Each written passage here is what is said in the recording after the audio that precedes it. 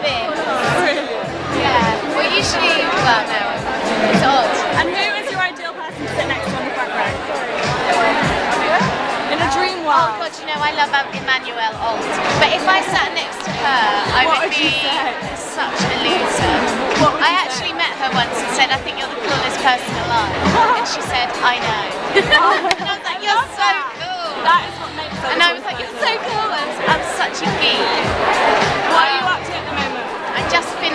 Movie last week called Byzantium and I'm just recovering from it. It was really, really full on.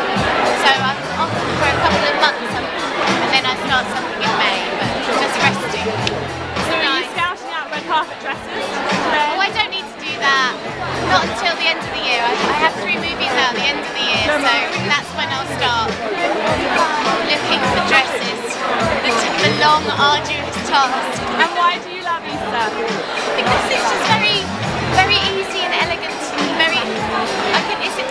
I, I need